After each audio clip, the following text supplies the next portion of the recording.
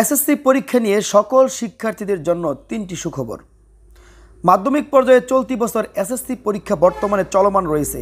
এক্ষেত্রে পরীক্ষা সম্পর্কে শিক্ষা মন্ত্রণালয় থেকে গুরুত্বপূর্ণ কয়েকটি সুখবর দিয়েছে। যে বিষয়গুলো সকল শিক্ষার্থীদের জন্য খুবই গুরুত্বপূর্ণ। এবছর পরীক্ষার আয়োজন করা হয়েছে, তার মধ্যে পরীক্ষা স্থগিত ঘোষণা এসেছে।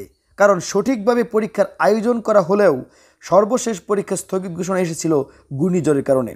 পরীক্ষার রেজাল্ট প্রকাশ নিয়ে শিক্ষা মন্ত্রণালয় থেকে আমাদেরকে জানিয়েছে, যা আমরা শিক্ষার্থীদের সুবিধাতে তুলে ধরছি।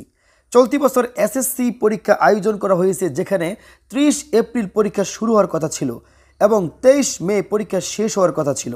কিন্তু পরীক্ষা স্থগিত হওয়ার কারণে আগামী সাতাইশ এবং আঠাশ তারিখের পরীক্ষা আয়োজন করা হবে।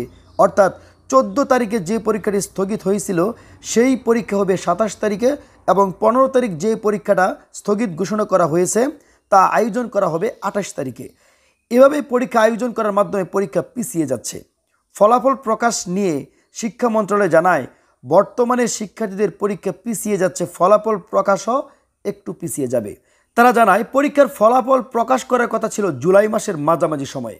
কিন্তু পরীক্ষা পিছিয়ে গেছে, তাহলে আমরা জুলাই মাসের শেষের দিকে ফলাফল প্রকাশ করতে পারব। এ কারণেই খাতাগুলো দেখে তার পরবর্তীতে আবার সেগুলো জমা দিতে হবে।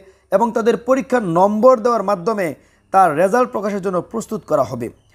এভাবে আরও বেশ কিছু কার্যক্রম রয়েছে যেগুলোকে সম্পন্ন করতে হবে। অন্যদিকে শিক্ষা মন্ত্রণালয়ের একটি সুখবর হিসেবে বলেন, বর্তমানে শিক্ষকরা পরীক্ষার খাতা দেখছেন। তারা জানিয়েছে, সুযোগ সুবিধা দেওয়া হবে শিক্ষার্থীদের। এক বা দুই নম্বরের কারণে ফেল করবে, তার সর্বোচ্চ চেষ্টা করে পাশ করানো হবে। এছাড়া শিক্ষা মন্ত্রণালয় থেকে আরও জানায়, বর্তমানে শিক্ষার্থীরা পরীক্ষা দিচ্ছে। আগামী যে পরীক্ষাগুলো শিক্ষকদের কাছে চলে যাবে তারা দেখে তার নাম্বার প্রদান করবে শিক্ষা মন্ত্রণালয় থেকে বলা হয়েছে।